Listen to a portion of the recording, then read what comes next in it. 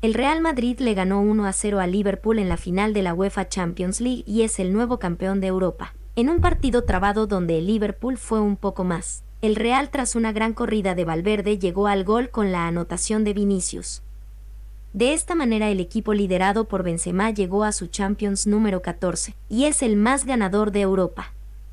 El Real, que hizo un camino épico remontando series imposibles contra el PSG, el City y el Chelsea, sigue siendo el más ganador de todos.